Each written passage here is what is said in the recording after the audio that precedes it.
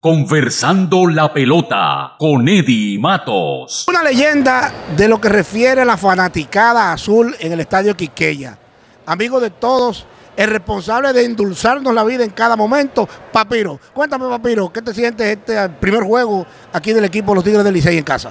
No, todo bien, tú sabes, ya desde un principio apoyando este evento, apoyando el equipo, nada apoyando desde ahora y bien, eh, estamos viendo que quiere caer un poquito de agua, pero que va, eso, eso, eso, se va a jugar pelota, va a ser una buena inauguración y preparando desde ahora para que el evento se dé mejor que el próximo, el año pasado. Correcto. Papiro, ¿cuáles son las expectativas que tú tienes con relación a lo que ya ha habido derrota y el line del Licey para esta temporada 2018-2019?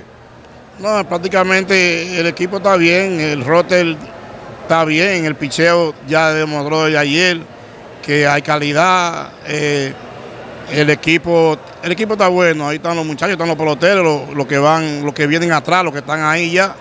Y el equipo está bueno, el equipo está bueno.